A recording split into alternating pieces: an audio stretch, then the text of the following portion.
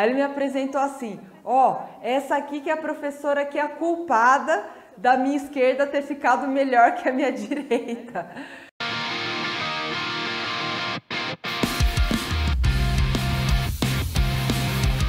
O nosso tema de hoje é Pare já de errar a sua esquerda. É um tema bem importante, hein? Eu acho que é bem legal. Eu gosto de falar bastante sobre, sobre a esquerda, sobre o backhand, né? Para quem não conhece o outro termo, vou falar sobre isso também. Então, acompanha aí. Então, se esse tema, você considera esse tema importante, já deixa o seu like e pode colocar o seu comentário aí com a sua pergunta, a sua dúvida, principalmente sobre essa questão do backhand da esquerda, tá legal? Então, vamos lá. Então, só deixando clara a nomenclatura, né? Porque eu vejo que algumas pessoas não têm bem clara essa questão da nomenclatura, né? Então, no, os golpes de fundo de quadra no tênis, por exemplo, em geral é assim, em geral a direita é com uma mão e em geral a esquerda é com uma mão ou com duas mãos, né? É, isso vai ser bem importante para o seu jogo pelo seguinte, pensa lá na quadra que você tem que jogar, né? A quadra de tênis, ela é bem grandinha, certo? Ela é bem grandinha.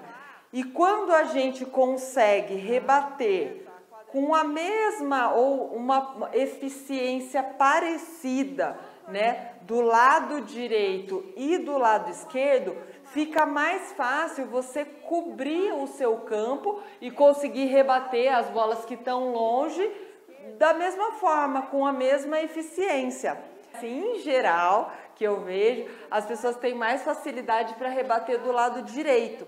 Né? A gente faz movimentos, mas eu costumo comparar com o movimento, por exemplo, de fechar uma porta. Esse movimento aqui, a gente faz assim, no nosso dia a dia, a gente usa esse tipo de movimento, né? De puxar, de empurrar. Então é tudo por aqui.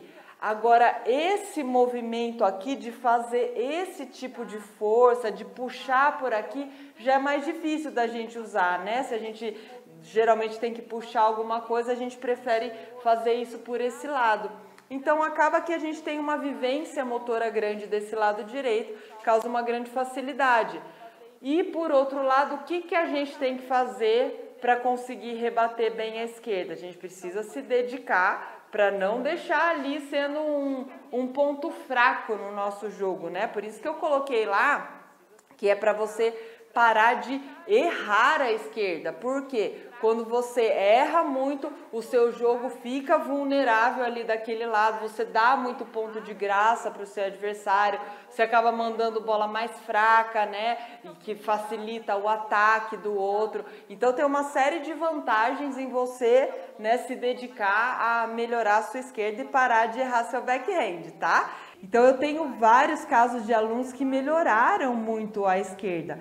Em especial, eu gosto de lembrar de um aluno que é o Pedro. E o Pedro, ele veio com essa história também, ah, eu acho que a minha esquerda podia melhorar e tal. Não era nada absurdo, acho que ele fazia meia hora por semana só, né? Era bem pouquinho, mas era um trabalho bem focado, tá? Bem focado. E um tempo depois eu encontrei com ele num torneio de tênis, né? Ele, ah, deixa eu te apresentar aqui para os meus amigos. Aí ele me apresentou assim: ó, oh, essa aqui que é a professora que é a culpada da minha esquerda ter ficado melhor que a minha direita. É possível, né? É possível com um trabalho direcionado, identificar certinho o que, que você precisa é, treinar, se dedicar para melhorar, você passar de repente, né, a sua esquerda que você erra tanto, que de repente é um ponto fraco no seu jogo, passar a ser até o seu ponto forte né? E assim, eu estou trazendo um exemplo concreto. Eu gosto de trazer bastante a questão mental, né, para o jogo de tênis, porque o que eu vou falar agora é, é puro, puramente mental. Olha só, tem gente que chega para mim e fala assim: ah, mas não adianta, eu, eu, já tenho vício no movimento. A pessoa fica: não, mas eu tenho vício, não, eu já tenho vício, não vou conseguir melhorar.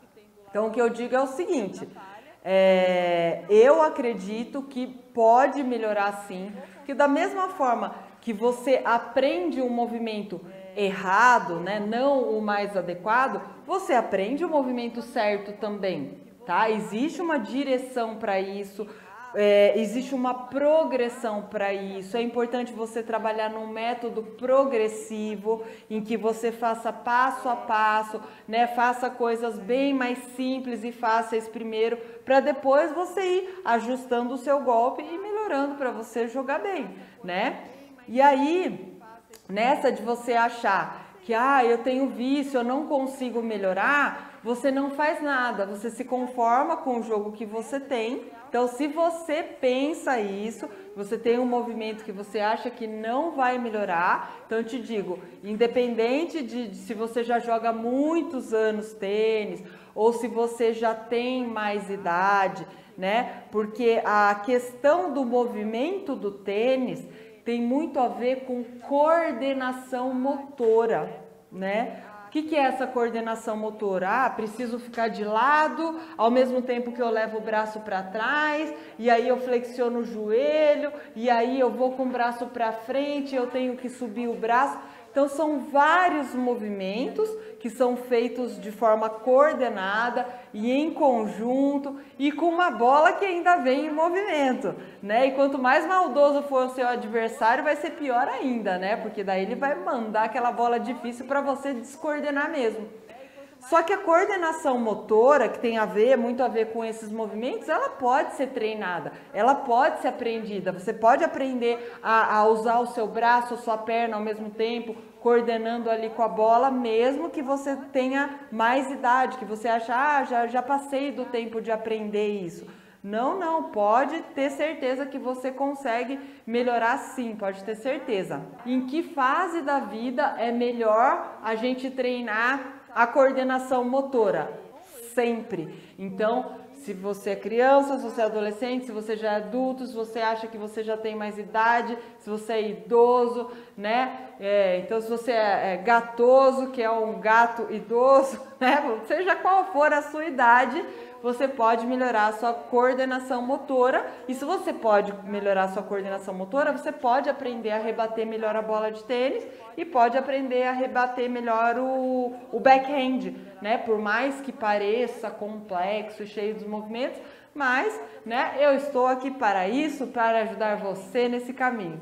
E tem uma outra coisa, tem uma outra ideia também que, que eu costumo ouvir, que assim, o, ah, o backhand, a esquerda é difícil, ah, é difícil, né, bater de esquerda. Ó, eu vou falar o que que eu considero, assim, bem honestamente, o que que eu acho.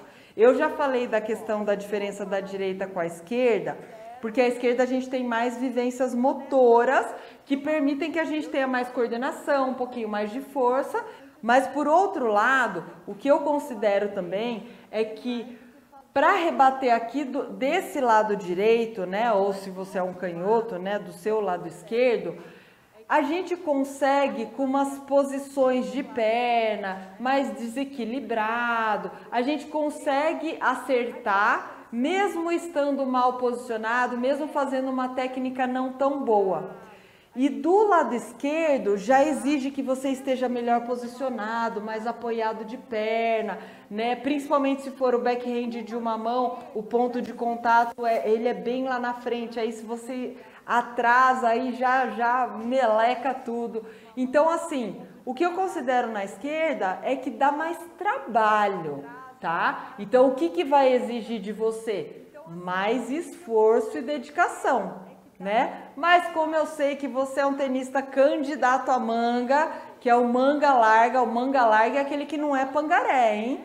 O pangaré não quer saber de esforço, agora o manga larga é o cara que topa todos, vai treinar, vai se dedicar. Ah, exige mais, vai cansar mais, não tem problema que eu vou fazer, né? Então, isso é puramente mental, você se dedicar, você se dispor e abrir a cabeça e, e se botar a cara tapa ali para você melhorar a sua esquerda, tá? Então tem essa consciência que realmente dá um trabalhinho a mais mesmo, rebater de esquerda cansa mais, desgasta mais, mas você vai fazer porque vale a pena. Isso vai acrescentar muito no seu jogo. Imagina só, né, se você consegue adquirir uma, uma confiança, uma consistência, regularidade para parar de errar suas esquerdas, né? Vai ser ótimo, vai ser muito bom pro, pro seu jogo, você vai ter muito melhores resultados, você vai passar a ganhar mais jogos, né? Então, assim, você consegue é, se sentir que você está jogando bem, né? Não fica com aquele negócio, ah, eu sempre tenho